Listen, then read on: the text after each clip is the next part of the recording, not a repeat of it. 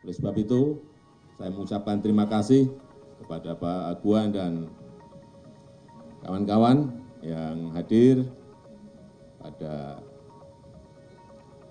sore hari ini. Ini memberikan confidence, memberikan rasa percaya diri pada Nusantara, Ucapan terima kasih Presiden Joko Widodo ini disampaikan langsung kepada sejumlah konglomerat tanah air yang turut serta menanamkan investasi di ibu kota Nusantara.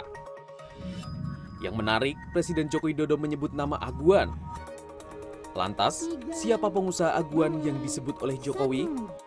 Sebelumnya, Sugianto Kusuma alias Aguan ditunjuk untuk memimpin konsorium penanaman modal dalam negeri di IKN Nusantara.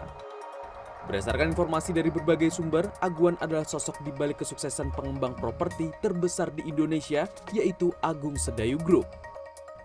Ia mulai merintis Agung Sedayu Group pada 1971.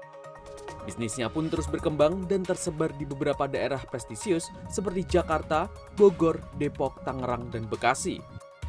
Proyeknya antara lain township, superblok, apartemen, office tower, mall industrial estate, dan hotel. Selain memegang tampuk kepemimpinan Agung Sedayu Group, Aguan tercatat menjabat Wakil Komisaris Utama PT Bank Arta Graha sejak 1990 hingga 1999. Pada 2004, ia bergabung dengan Bank Interpasifik TBK. Lalu, setelah penggabungan PT Bank Interpasifik TBK dan PT Bank Arta Graha TBK, Aguan kembali dipercaya sebagai Wakil Komisaris Utama PT Bank Arta Graha Internasional TBK. Aguan dan keluarga juga menguasai 50% saham PT Cahaya Kusuma Abadi Sejahtera.